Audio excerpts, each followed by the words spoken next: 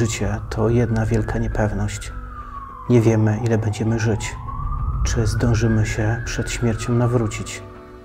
Czy Bóg da nam przebaczenie, abyśmy potem mogli wejść do wieczności?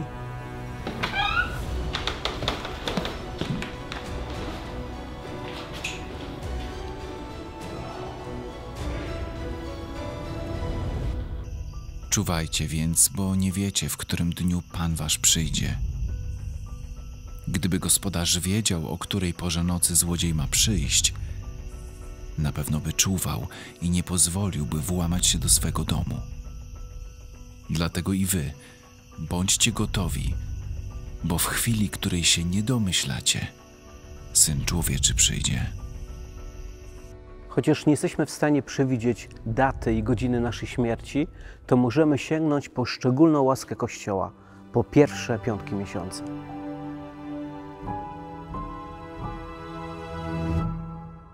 Praktyka religijna trwająca tyle co ciąża 9 miesięcy, ale angażująca tylko raz w miesiącu.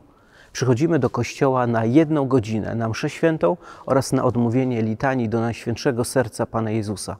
Ale musimy jedno pamiętać, że w trakcie tej mszy świętej musimy przyjąć komunię świętą.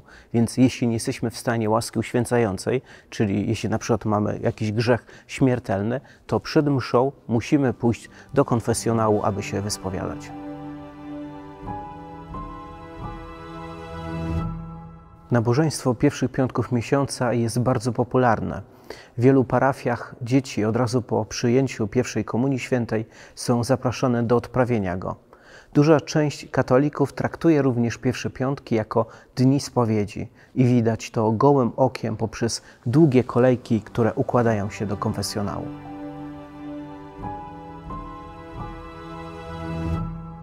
Wymyślił je sam Pan Jezus.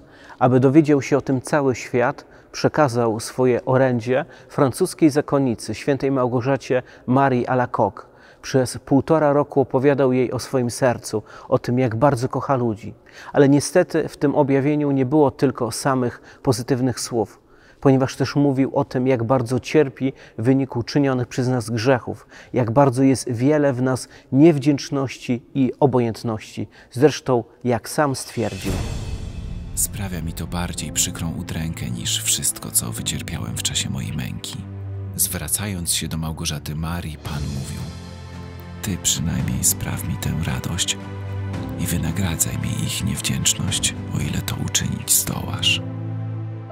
Właśnie takim wynagrodzeniem jest przyjmowanie Komunii Świętej. Poprzez nią łączymy się z ofiarą Zbawiciela. Dlatego zgodnie z prośbą Pana Jezusa powinniśmy przyjmować ją bardzo często, a szczególnie w pierwsze piątki miesiąca.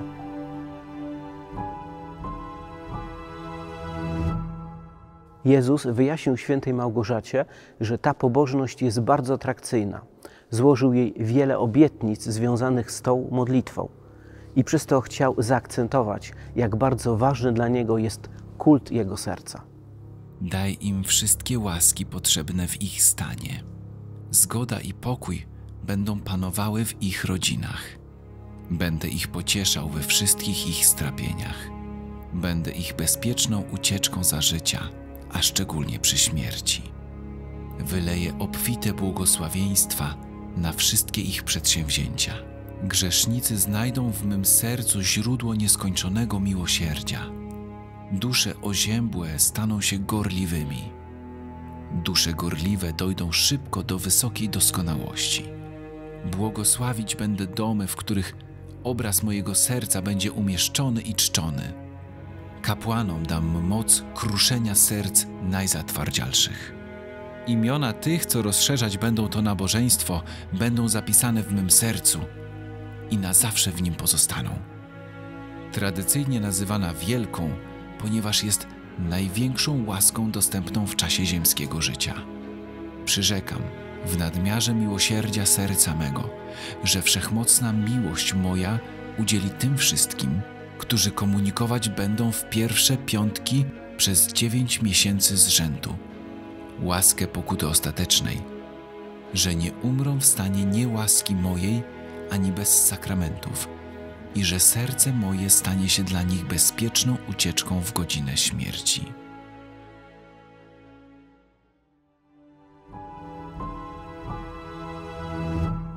Jezus w swojej obietnicy mówi o przyjęciu Komunii Świętej w kolejnych dziewięć pierwszych piątków miesiąca. Nie ma tam mowy o spowiedzi świętej, dlatego że w tym nabożeństwie chodzi o przyjęcie najświętszych ciała i krwi pańskiej, a nie o sakrament pokuty.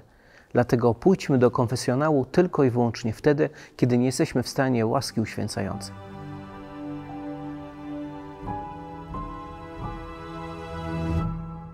Ta regularna modlitwa wcale nie jest zabobonem, ale jest wielką pomocą w wypracowaniu nawyku regularnej spowiedzi świętej oraz przyjmowania komunii świętej poza niedzielą.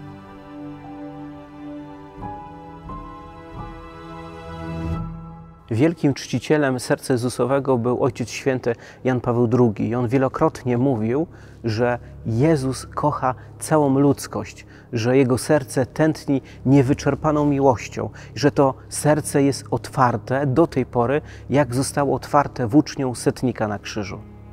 Nabożeństwo dziewięciu pierwszych piątków miesiąca to uczestnictwo na dziewięciu mszach świętych, które odbywają się w pierwsze piątki miesiąca. W trakcie tych mszy świętych musimy przyjąć komunię świętą. Jeśli nie jesteśmy w stanie łaski uświęcającej, to przed rozpoczęciem mszy świętej powinniśmy się wyspowiadać. Pamiętajmy, aby nie przerywać tego nabożeństwa.